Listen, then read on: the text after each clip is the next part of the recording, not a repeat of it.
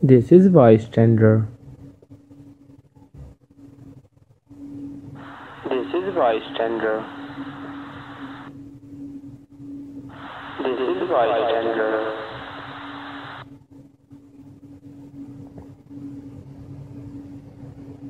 This is bystander.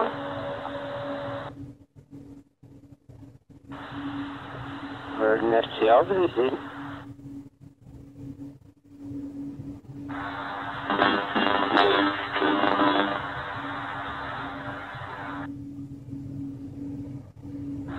ärztliche Beistände.